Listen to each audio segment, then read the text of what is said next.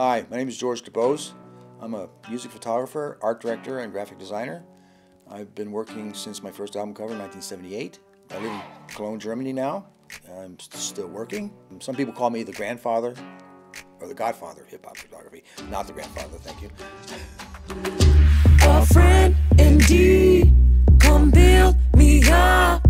Come shed your I went to university uh, to study law, and as a result of an LSD trip, I realized I didn't want to wake up every day the rest of my life and have a think about who I'm going to battle with in a courtroom, whether it's you know divorce or corporate law or whatever. So I um, started thinking about what else I wanted to do, and I liked uh, drawing and painting, but I didn't have the patience for this.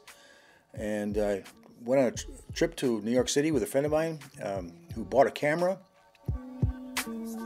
I was kind of known by this point as a, in 1981 as a nightlife photographer. I was out most nights in different clubs, photographing bands, photographing the scene. And uh, one of the doormen at one of the clubs, Hurrah's, uh, recommended me to uh, a music manager to photograph the artist of that manager. And the manager called me up and said that she had a singer.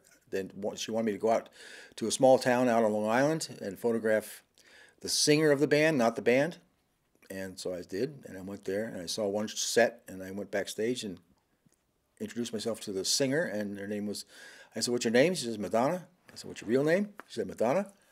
And I was talking to her, chatting her up, and her manager got kind of pissed and kicked me out of the dressing room, and never paid me for the pictures.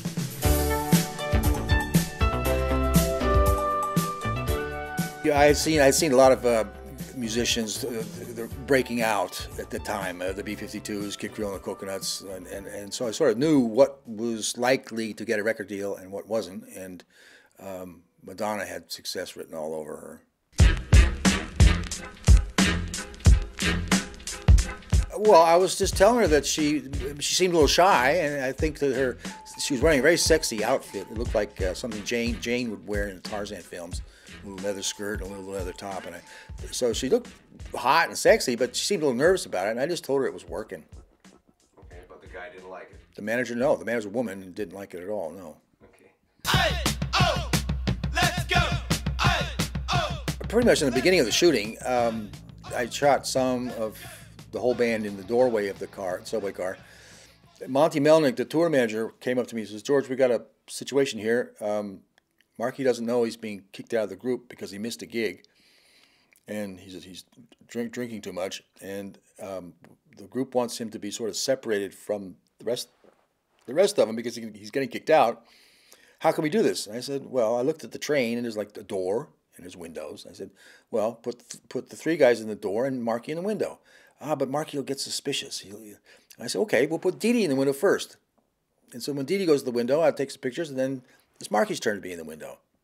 And that's how we got Marky to sit in the window.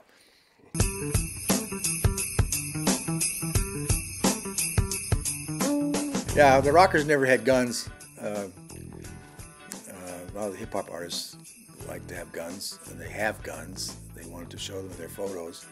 And there was a time when Cold Chillin' Records said that we couldn't use guns on the cover of their albums because big distributors, Walmart and other record distributors, weren't going to take any more rap covers with rappers with guns.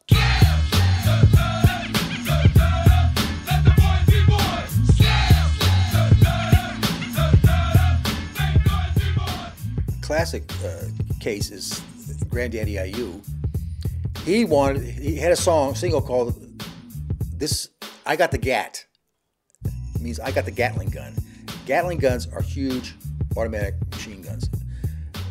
The the theory was my gun's bigger than yours, so he wanted to do a drive-by shooting with a Gatling gun. We went to Hempstead, Long Island, and uh, had a whole set. I had crowbars and baseball bats for his for his posse. I had a street like a strobe on a like a street light, so it's like a street scene. I was taking a picture of like the police camera to make it look like it was an observation of this drive-by.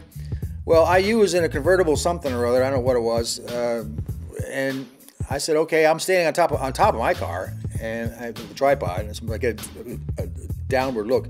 Okay, IU, I told everybody what to do. No smiling, no laughing. The guys with the crowbars and bats run away from the car. IU, you reach for your piece. On three. One, two. Well, IU stood up. His guys stood his car stood up. They all had guns. IU had an AK-47. The guy, the driver had a street sweeper, which is an automatic shotgun. Some guy had a four-shot Derringer. I don't know what the other guy had.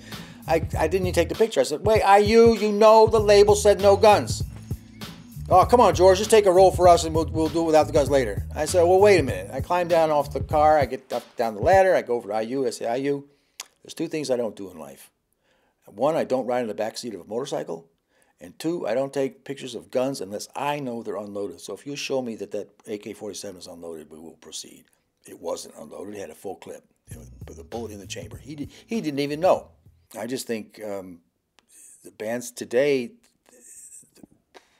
they don't have concepts anymore. I mean, these rappers used to come to me, or the Ramones used to come to me with concepts.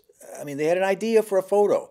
I don't think I don't think the bands do this anymore. I went to see um, a German magazine recently, and they did, he did an, they did an interview with me, and they were showing me their covers of their recent magazines, and they had fucking they had rock bands in hotel rooms for their cover of a magazine. How lame is that? The photographer has no creativity, the band has no creativity, and the magazine has no creativity. What do you get? You get a picture of a band in a hotel room sitting on a bed.